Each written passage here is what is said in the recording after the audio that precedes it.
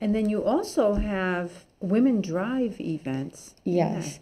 Drive program is for any woman. You can learn how to change your tire. You can learn how to jumpstart your battery. You can learn how to check your fluids. You mm-hmm. can. I, so there are all many stations that sometimes women aren't familiar with, or not, are afraid to ask. That is a fascinating idea to help everyday women get more familiar with something they use generally every day, which is their car, Yes. and to feel more confident. that is offered through Gateway Community College in New Haven. Be one evening, about two, two and a half hours.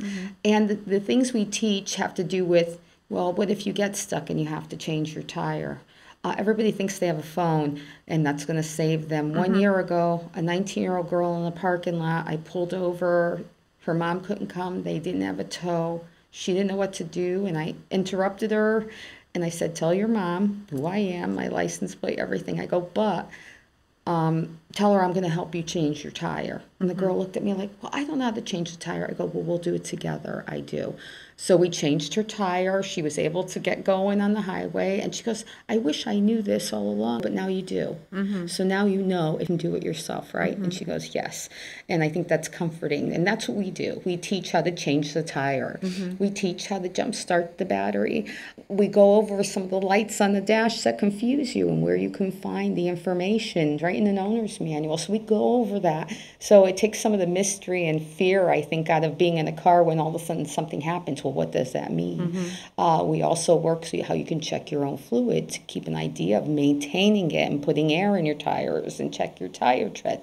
These are all different stations we offer during the two and a half hours. We also have a couple women from industry that uh, you know are former students and they go over what to expect if you go into a service repair area and what are questions maybe you should ask as a customer or what do they mean when they ask this so they have a, a higher comfort level when they do have to bring the car in for repairs so those are different informational and teaching stations we offer as part of the women's drive evening and it's a free of charge thing all they need to do is sign up look on the gateway uh, new haven website the campus in North Haven, where the automotive classes are, is where it's usually offered. That's wonderful. Thanks so much.